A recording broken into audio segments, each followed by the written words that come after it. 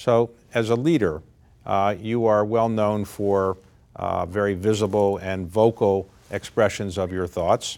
Is that a style you consciously adopted, or it just happened that way? I was a very, very shy kid, very shy kid.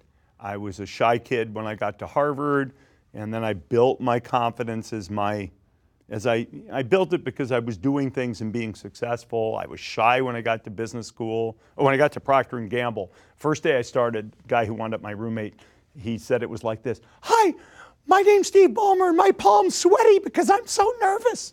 Um, so shy kid, and then I got better and better, and I developed some confidence in public speaking and and it turns out I have something of a knack, and part of that is getting in front of your troops and pumping them up and tell a story. And um, I, I, will do. I mean, basketball is a weird environment because, of course, I don't have a lot of credibility. I'm an owner, for God's sakes. I, I'm not an expert, but you know, at the end of the day, at least I can I can get into the game and be verbal and vocal. Okay. What would you say is the most important characteristic to be a good leader? Uh, commitment.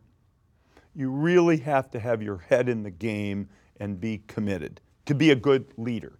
There's two parts of leadership. One is leading people, and that's about commitment and people understanding you have commitment. The other part of leadership, which doesn't get talked about much, is you have to be a leader of ideas.